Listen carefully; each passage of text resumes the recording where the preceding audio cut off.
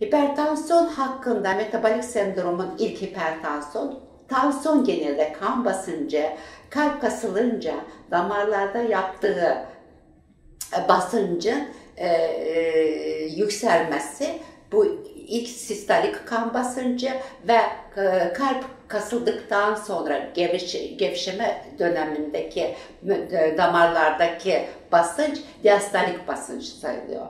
Ve tansiyon yüksekliği normalin üzeri dediğimiz 130 e, diastolik 85'inde bu artık kalıcı tansiyon yani hipertansiyon sayılıyor. Kalıcı tansiyon ise ilerisi için e, kalp damarların zorlanması, kalbin zorlanması ve ileri e, günlerde ise, ileri aylarda ise vücudun kan dolaşım sistemini rahatsız ederek ciddi bir sıkıntılara, e, sıkıntılarla sonuçlanıyor.